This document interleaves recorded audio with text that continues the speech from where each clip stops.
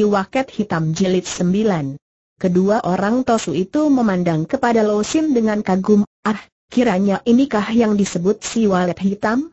Telah lama pintu mendengar namamu yang besar, akan tetapi mengapa si Chu datang-datang menempur kami tanya seorang di antara yang bertempur melawan Losin tadi.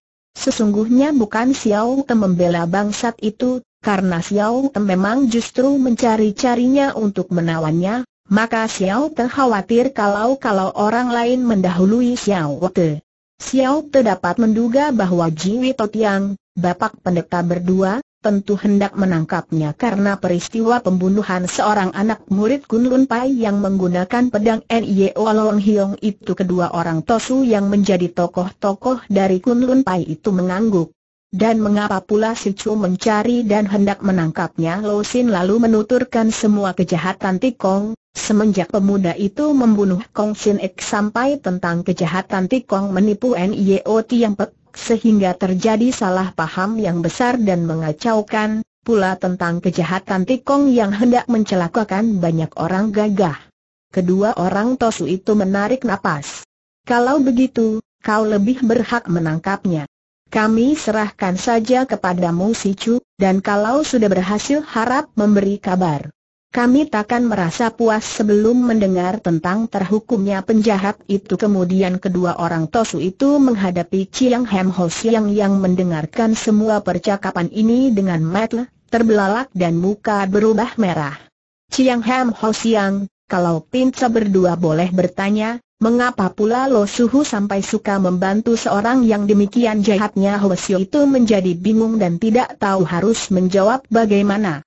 Ia merasa malu sekali dan akhirnya menjawab juga setelah menarik napas panjang beberapa kali. Ah, tidak kusangka bahwa pemuda yang begitu tampan dan sopan bisa sejahat itu. Ia mengarang cerita bohong, menjelek-jelekan nama Ang Lian Hiap dan Hoi E Tian Kim Hang dan mengajukan permohonan agar supaya Pim Cheng membantunya dalam pibu yang hendak diadakan di puncak Hoa Mosan setelah berkata demikian, Chiang Hem Ho yang berkali-kali minta maaf kepada kedua Tosu dan juga kepada Lo Sin. Mereka lalu berpisahan dan Lo Sin bersama Ing lalu cepat melakukan pengejaran. Ternyata bahwa Tikong dan Bimoli terus melarikan diri dengan cepat, dan akhirnya mereka sampai di Hoa Mosan. Akan tetapi Lo Sin dan Ing mengejar terus dan biarpun maklum bahwa kedua orang itu berada dalam sarang mereka sendiri, namun Losin dan Liing tidak menjadi gentar dan terus mengejar ke atas. Kebetulan sekali, Bong Chu Jin dan Hek Li Sutai juga sudah kembali ke puncak Hoa Mosan, mempersiapkan diri untuk pibu, maka alangkah marah mereka ketika mendengar dari Bimoli dan Tikong betapa kedua orang yang dulu memisahkan diri dari mereka untuk mencari bantuan di jurusan itu, Dikejar-kejar oleh Losin dan Liing mereka berdua dengan diikuti oleh Tikong dan Bimoli lalu keluar dan menyambut kedatangan Losin dan Liing dengan senjata di tangan. Maka terjadilah pertempuran hebat. Losin yang lihai dikeroyok dua oleh Bong Chu Sian Jin dan Hekli Sutai, sedangkan Liing dengan gagah berani menghadapi Tikong dan Bimoli. Pada saat Tang Lian Lihiap dan kawan-kawannya tiba di situ, dari dalam kuil itu pun keluarlah Het Xiao Mo Khu Mo In dan Lan Bue En Yang Niang. Baik Lo Sin dan Ling maupun Bong Chu Sian Jin, He Li Su Tai dan Tikong, menahan senjata masing-masing dan melompat mundur. Lan Bue En Yang Niang merangkapkan kedua tangan dan melangkah maju. Sementara itu Ling berlari dan menubruk ibunya dengan suara tangisnya yang mengharukan, ia lalu berlutut di depan ayahnya.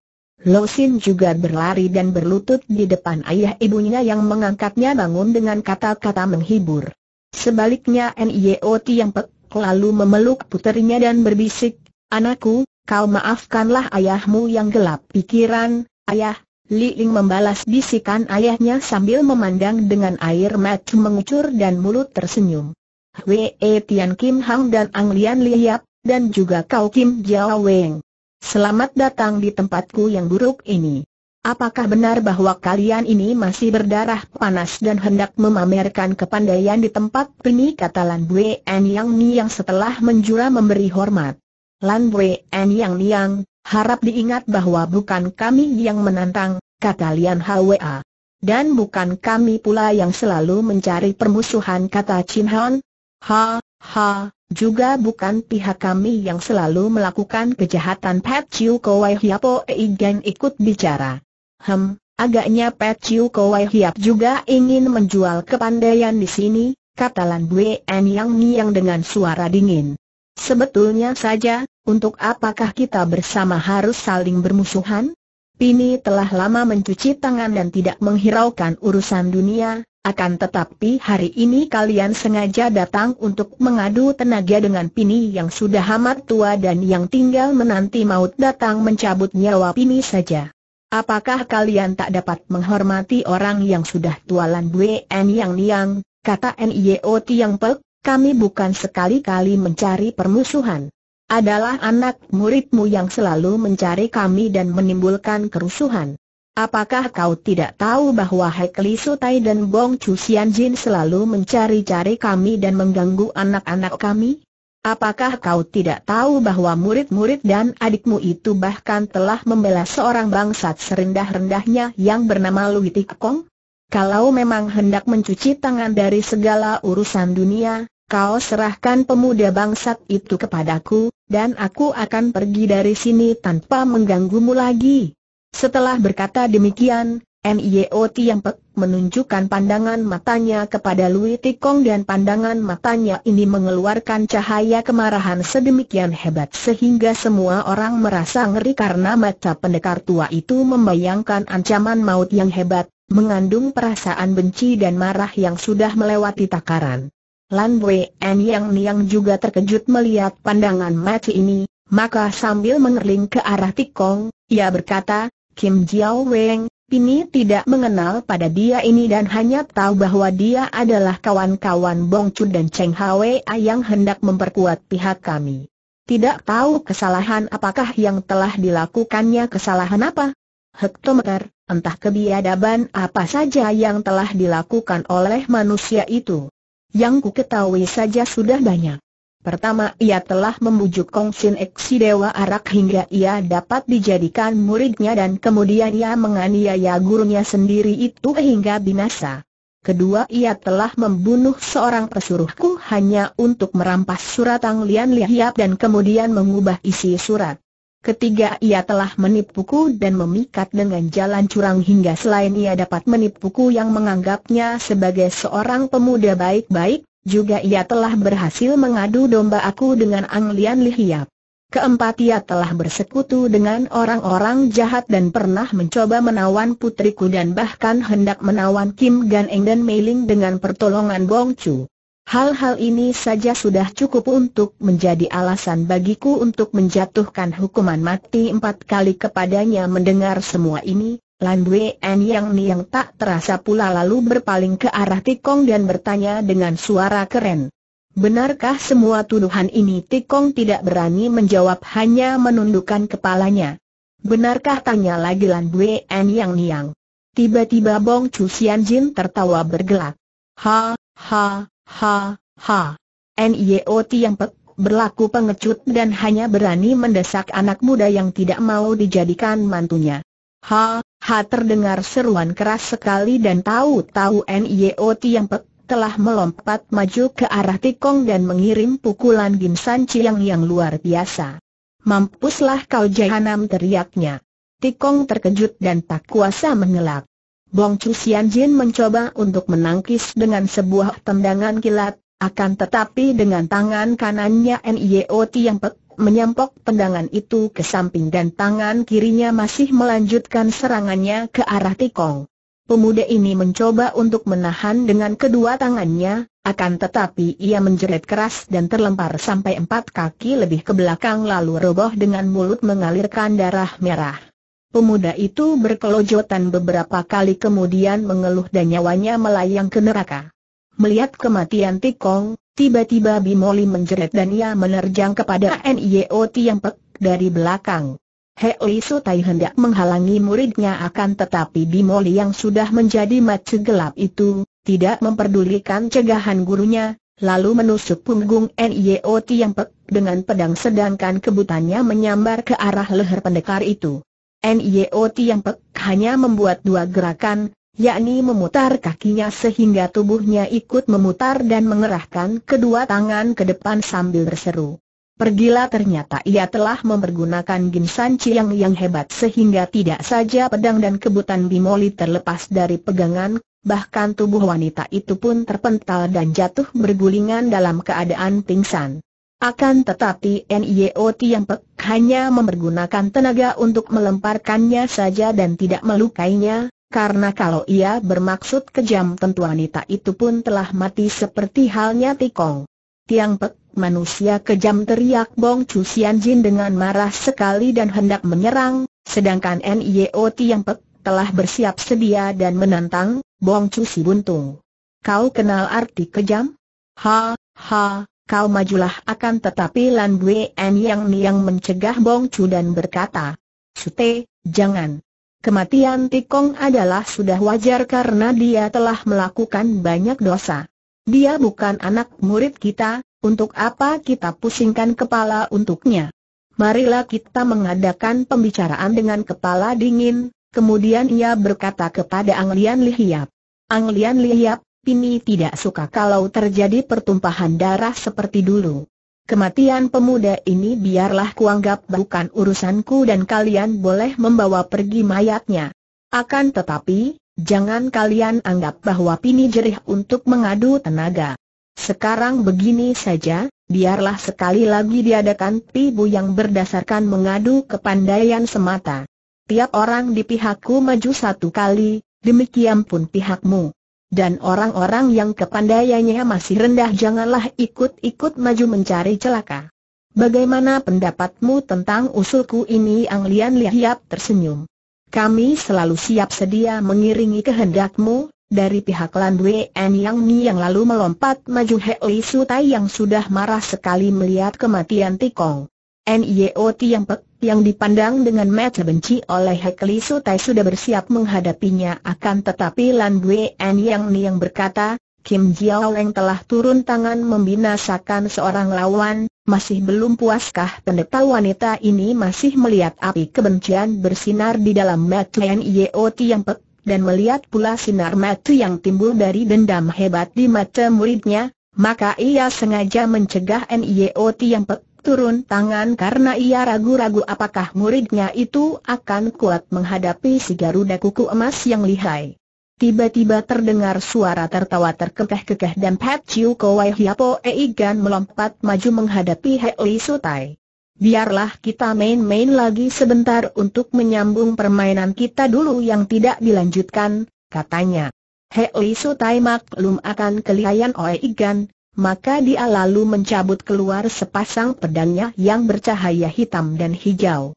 Oe Igan tertawa geli dan berkata, Hei Sutai, biarlah aku merasai ketajaman kedua pedangmu sambil berkata demikian, Oe Igan dengan tangan kosong menghadapi Hei Sutai dengan sikap memandang rendah sekali. Hei Sutai marah dan segera berseru sambil menyerang hebat. Oe Igan memperlihatkan ketangkasannya dan pendekar tua yang berpakaian sederhana ini lalu mempergunakan ujung lengan bajunya untuk dipergunakan sebagai senjata. Sampokan ujung lengan bajunya ini lihai sekali karena tiap kali pedang di tangan Hekli Sutai kena disampok, maka Hekli Sutai merasa betapa telapak tangannya tergetar hebat. Pertempuran berjalan ramai sekali dan akhirnya dengan ujung lengan bajunya Oe Igan berhasil membelit sebuah pedang di tangan kanan Hei Sutai.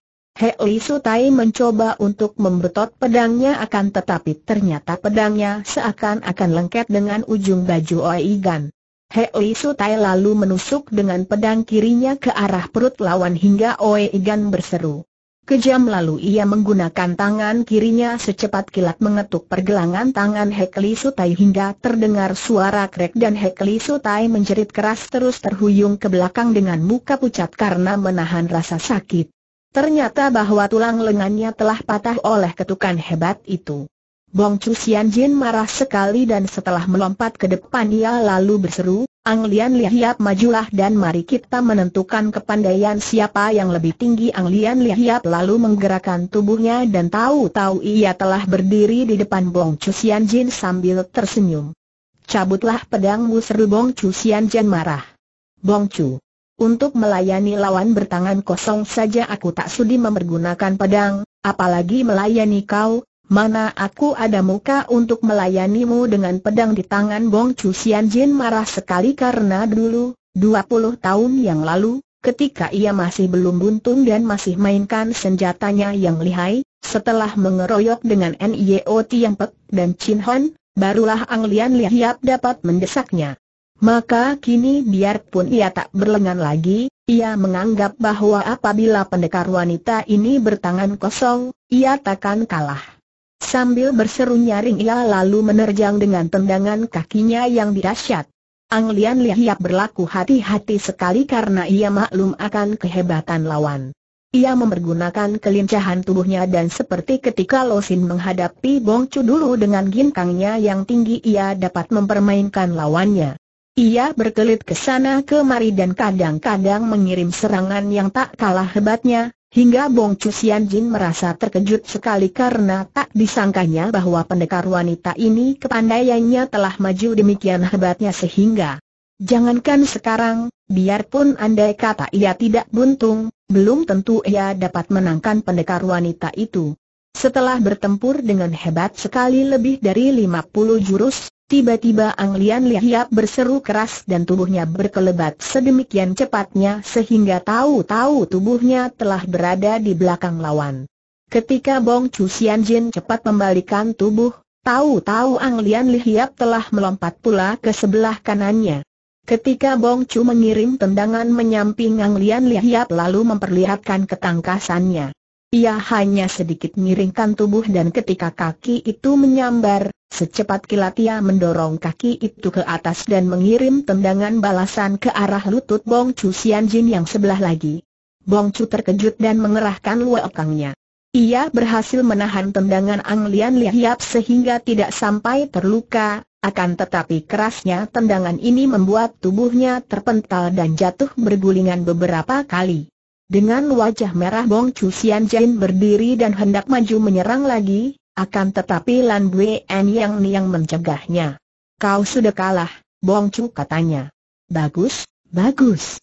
Kepandaian Ang Lian Lihiap lihai sekali tiba-tiba Hek Xiao Mo Hu Mo In, saudara seperguruan Bong Chu Sian Jin berkata dan melompat ke depan. Biarlah aku ikut bermain-main untuk melatih kaki tangan Chin Hon dan Lian Hwa maklum akan kelihayan orang ini, maka ketika Kong Liang hendak melompat maju Chin Hon mencegahnya dan berkata, Kong Liang, orang gagah ini bukanlah lawanmu. Biarkan aku menghadapinya Hek Xiao Mo Hu Mo In adalah seperang ahli Wekeh yang berkepandaian cukup tinggi, maka andai kata Kong Liang yang maju, dalam beberapa puluh jurus saja, tentu Kong Li yang akan dapat dirobohkannya. Maka kini dalam menghadapi Chin Hon, ia tidak berlaku sungkan lagi karena ia pun telah mendengar dari Bong Chu bahwa kepandaian Hwee Tian Kim Hang ini luar biasa tangguhnya. Ia mendengar pula bahwa kehebatan Chin Hon terletak dalam ilmu pedangnya Hwee Sian Leong Kiam Sut, maka telah direncanakan lebih dulu untuk menghadapi Chin Hon atau Lian Hwa dengan tangan kosong hingga mereka ini tiada kesempatan lagi untuk mempergunakan ilmu pedang. KHU Moin lalu menyerang dengan pukulan-pukulan berat karena semua tenaga pukulannya adalah tenaga hikang yang tinggi.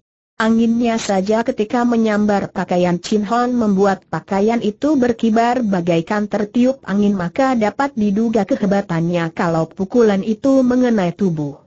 Akan tetapi Chin Hon bukanlah seorang lemah dan ia sudah mempunyai pengalaman bertempur puluhan tahun hingga ia dapat menghadapi lawan ini dengan tabah dan tenang. Ternyata bahwa kepandaian mereka berimbang, sama tangguh dan kuat.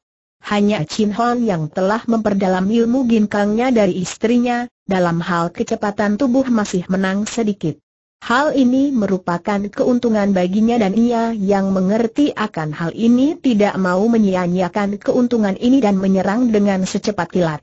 Seratus jurus lebih telah lewat dan keduanya masih dalam keadaan berimbang. Pada saat pukulan KHU Moin melayang ke arah pundak kanannya, Chin Hon lalu cepat membalas dengan pukulan Garuda Sakti menyambar hati memukul ke dada lawan.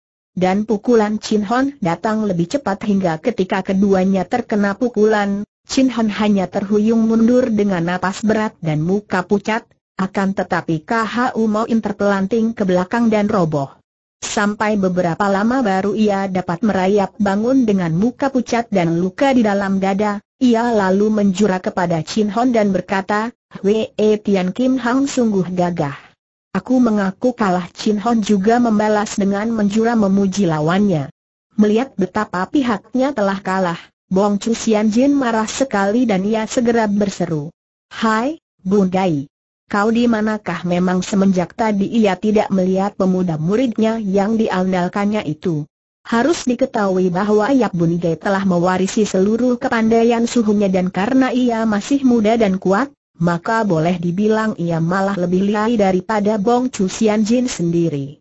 Setelah sekali Bong Chu Sian Jin memanggil dengan suara berteriak, Terdengar suara Bundai menjawab dan tak lama kemudian datanglah pemuda itu, dengan pakaian masih berlumuran lumpur dan di pundaknya terpanggul sebatang cangkul. Ternyata bahwa pemuda ini agaknya baru pulang dari bekerja di sawah. Bundai, muridku. Kita kedatangan tamu-tamu agung, kau majulah mengadakan penyambutan kata Bong Chu Sian Jin kepada muridnya. Pemuda itu melempar cangkulnya dan menghadapi Ang Lian Lihiap dan kawan-kawannya dengan muka sedih dan memandang penuh keraguan. Nah, muridku telah maju, siapa dari pihakmu yang hendak melayani teriak Bong Chu Sian Jin kepada Ang Lian Lihiap. Tiba-tiba Mei Ling tanpa berkata sesuatu lalu melompat maju di depan Bun Gai sambil memandang tajam dan bertanya, kau, Kau benar-benar mengajukan diri kedua mata Bungai memandang dengan sayu dan mukanya pucat ketika ia mengeraskan hati menjawab. Kebaktian murid terhadap guru, baik, akulah lawanmu teriak Meiling dengan isak tertahan dan gadis ini lalu mencabut pedang dan menyerang hebat. Meiling Kong Liang juga berseru untuk mencegah adiknya, akan tetapi Meiling tidak memperdulikan itu semua dan menyerang terus dengan ganas. Bun Gai tidak mau melawan dan seperti dulu, ia hanya mengelak saja. Dia terus diserang dan didesak oleh pedang Meiling akan tetapi Bun Gai benar-benar hebat kepandaiannya. Biarpun Gin Kang Mei Ling sudah tinggi, namun serangan-serangannya yang berbahaya itu dapat dihindarkan Bun Gai dengan mudah. Sampai seratus jurus lebih Mei Ling mendesak. Bun Gai, Balaslah teriak Bong Chu Sian Jin dengan gemas melihat keadaan muridnya. Ia tadinya telah merasa girang oleh karena kali ini pihaknya pasti akan menang. Tidak tahunya, muridnya ini sama sekali tidak mau membalas. Mendengar perintah gurunya, Bun Gai berkelahi sambil menjawab. Suhu, Teocu tidak dapat melukainya, bodoh. Serang dia, itu kan lawanmu tak mungkin, Suhu. Teocu, tidak mau melukainya, tiba-tiba terdengar Bong Chu menggeram keras. Bangsat besar. Kau, kau, mencinta musuh Bun Ge tidak menjawab dan Bong Chu Sian Jin lalu melompat dan mengirim tendangan kepada muridnya itu. Pemuda itu terpental dan jatuh berguliran, akan tetapi sedikit pun tidak menderita luka. Ia bahkan menjatuhkan diri berlutut. Bangsat tak kenal budi.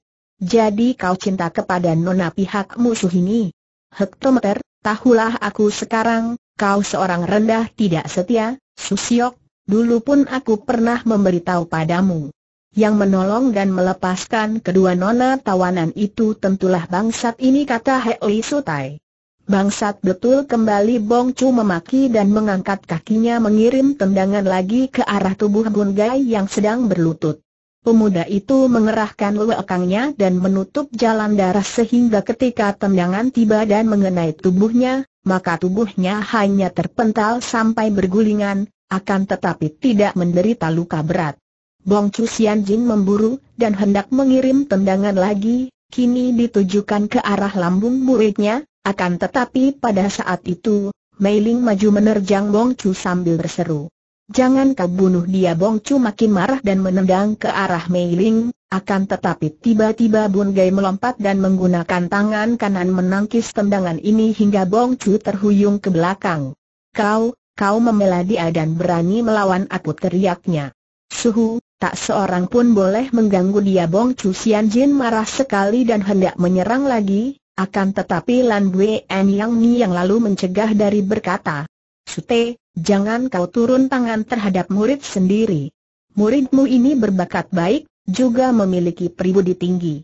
Kalau kau menuruti nasihatku, Bongcu, kau rangkaplah jodoh muridmu dengan nona ini karena peniliat keduanya memang sudah berjodoh. Lebih baik permusuhan ini diakhiri dengan persahabatan dan kekeluargaan. Aku harus bunuh dia Bongcu berkeras dan melompat maju lagi untuk menyerang Bun Ge dan Mei Ling. Akan tetapi Lan En Yang Niang bergerak cepat dan tahu-tahu ia telah menghadang di depan sutenya. Jangan, sute. Pini yang melarang kau berbuat demikian kau, suci? Kau juga memusuhiku kedua mata Bong Chu Sian Jin terbelalak dan terputar-putar karena marah dan kecewanya. Kemudian ia menerkam dan menyerang Lan En Yang Niang dengan tendangan kilat. Lan En Yang Niang mengebutkan lengan bajunya dan ketika ujung lengan baju itu menyampok kaki Bong Chu yang menendang, tubuh pendeta buntung itu terlempar jauh. Dapat diukur betapa hebat dan tingginya kepandaian pendeta ini sehingga Ang Lian Lihiap dan kawan-kawannya yang melihat ini menjadi kagum sekali. Sebaliknya Bong Chu yang merasa tak mungkin dapat memenangkan sucinya, karena kecewa dan menyesal, lalu berteriak-teriak seperti orang gila, kemudian ia lari dan melempar dirinya ke dalam jurang yang curam. Lan Wei En yang niang menghela napas. Biarlah ini yang banyak dosa dan yang sudah tua ini melakukan perbuatan terakhir yang baik. Bundai, bagaimana kalau sekarang juga Pini melamar nona ini untukmu Bundai berlutut di depan Lan Bue Er Yang Niang dan menjawab perlahan. Teocu hanya menurut perintah Niang Niang, Lan Bue En Yang Niang lalu berkata kepada Ang Lian Lihiap, Ang Lian Lihiap sekalian, dengan tuasnya adikku Bongcu, maka Pini menyatakan bahwa semua pertikaian yang pernah ada dianggap habis dan jangan sampai terulang lagi. Pini akan mendidik anak muridku agar menjadi orang-orang baik. Cui telah menyaksikan sendiri peristiwa tadi, maka dengan jalan ini Pini sekalian hendak mengajukan usul agar supaya Bun Ge dijodohkan dengan Nona yang gagah ini. Bagaimana pikiran Cui Anglian Lihiap menjura dan tersenyum. Niang-niang, memang semenjak dulu aku telah mempunyai niat untuk menjodohkan mereka, maka dengan adanya pinangan resmi dari Niang Niang, tentu saja kami menyatakan syukur dan terima kasih, bagus, bagus. Mulai sekarang takkan ada permusuhan yang menjemukan lagi, kata Hwee Tian Kim Hong yang kemudian berkata kepada Nio Tiang Pek. Dan kesempatan ini pun kugunakan untuk mengulangi lamaranku terhadap puterimu, Nio tuaku. Aku meminang Lin untuk Lo Sin Tiang Pek tertawa bergelak dan berkata, Bangsa terendah Tikong telah mampus di tanganku hingga hatiku puas sekali. Soal pinanganmu itu, semenjak dulu pun tentu aku terima dengan senang kalau tidak ada kecurangan yang dilakukan Tikong. Baiklah pinangan itu ku terima dan terima kasih kepada kasuami istri yang berbudi. Ang Lian Lihiap tersenyum girang aku pun masih hendak melakukan sebuah hal yang baik lagi. Semua orang telah menjadi perantara yang beruntung, maka sekarang aku tujukan kepada Pet Chiu Kowai Hiapo Eigan untuk meresmikan ikatan jodoh antara adikku Kong Liang dengan muridnya Bwe Hwa mereka telah bertukar pedang, masih kurang resmi apalagi kata Oe Igan sambil tertawa. Semua orang bergembira, hanya keenam anak muda yang bersangkutan tak berani memperlihatkan kegembiraan mereka, dan hanya terdiam dengan kepala tunduk dan muka merah. Beberapa bulan kemudian, di rumah Anglian Liap, dilangsungkan upacara pernikahan tiga pasang mempelai itu dengan perayaan yang cukup meriah dan bergembira ria. Ratusan orang tamu dari berbagai tempat datang untuk memberi selamat kepada tiga pasang mempelai yang bahagia itu dan dengan pesta pernikahan yang meriah itu berakhirlah sudah cerita Oyan Chu ini yang sesungguhnya merupakan rangkaian cerita Ang Lian dan si Walet Hitam. Tamat.